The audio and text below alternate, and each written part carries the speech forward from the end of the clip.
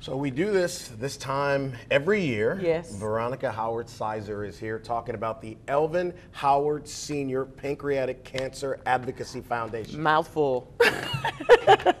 All right, y'all. That's it. Been a good show. See you next week. All right. So let's talk about this weekend. You got the 5K run. Yes. Happening. There's a beautiful graphic for it. Uh, if you're watching on Saturday, you might have missed it, but you can still support the organization. But yeah, let's talk about the 5K first. We are so excited to be presenting this again in conjunction with the City of Baker. Uh, uh, Mayor Waites there is very excited about bringing this back to his city. Uh, and we plan to have a lot of fun, entertainment, free food. Chief, uh, Big Chief, as he's called, is going to be Chief there. Dunn, yeah. Yes, he's going to be there. He's going to be cooking.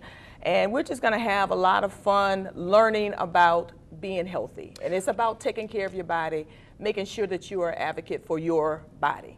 So let's talk a little bit about um, the foundation Mm-hmm. and what it does. Obviously named after your father, Elvin Howard Sr., who was a long time uh, member of the team here at WBRZ. Yes. And uh, by the way, shout out to Ed Ball. What's up, Ed? I would seen Ed in a while. Yeah. Um, let's talk about why you started the foundation. We started the foundation because my father was misdiagnosed with pancreatic cancer. That's just simply it. And my mom, being a nurse, knew that um, when you are normally diagnosed with pancreatic cancer, it is really too late. Uh, pancreatic cancer has one of the lowest five year survival rates of any of the cancers out there. Uh, the prognosis is dire uh, uh, many t- for many people who are. Who have pancreatic cancer or who are diagnosed with pancreatic cancer. So we understand that early detection is the key.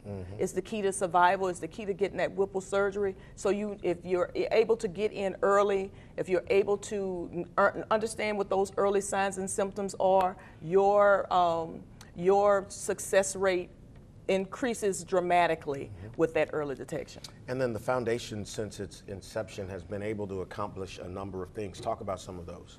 We- Well, we one of the things that we have been been able to accomplish, and a lot of that is um, is uh, thanks to WBRZ, is we've been able to get uh, the word out. We've been able to um, to be on TV and uh, radio with our partners at Cumulus uh, to to just get the word out about those early signs and symptoms that we just talked about. And so um, we we've been able to help you know, so many people. We've gotten a lot of testimonials back where people say, thank you so much. Even from the caregiver standpoint, with my mom being a caregiver, uh, understanding that the caregiver have a very, very important part in the healing of their, of their loved one. So it's just um, being there, making sure we get the word out for, on the awareness side, and then also being there for the pancreatic cancer patients and their families. Well, let's talk about the next event that's going to be taking place. Um, and last year it was at Helix Yes. uh, Academy, which was, was beautiful. It was, it was beautiful in there. The way it was set up, there was actually a plane on the inside of there, so that was pretty cool. And this is on Friday, November 10th. Let's talk about that. That's actually the gala. Right. It is our, uh, we call it a fundraiser because we want to keep people on- in the mindset of that this is about raising funds. And uh, Clay, thank you very much for hosting that for us last year. It was Yep. a great time. Yep. We had a great time. Uh, so this year is going to be at Drusilla Place Catering. Mm-hmm. Um, you know, uh, Helix is a school and they need to get back to teaching. That's right. That's right. It's a That's right. beautiful hangar, but their their primary goal is teaching students. So we had to we, we got kind of uh, kicked out of that, evicted out of that. So we're going to be at Drusilla, Place Catering on Friday, November 10th at seven o'clock.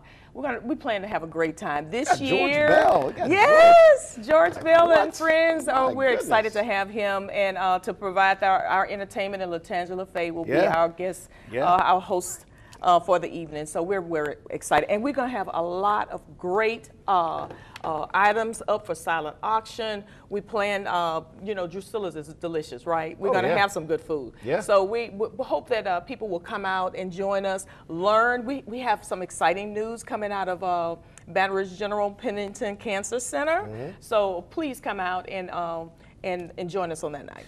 So again, the 5K is this weekend. Yes. The fundraiser is going to be on the 10th at Drusilla's. George Bell is going to be there so you can eat well, hear great music, and Yes. support a fantastic cause. The website is Elvin Howard Senior PCAF, P-C-A-F dot org. If you want to make a donation to the organization, buy a ticket, show up, listen to some great music. Via, appreciate you being on. Thank you so much, and thanks for having me. One more great event is happening, a series of events, and I can't wait to tell you about that, and I'm to do it next.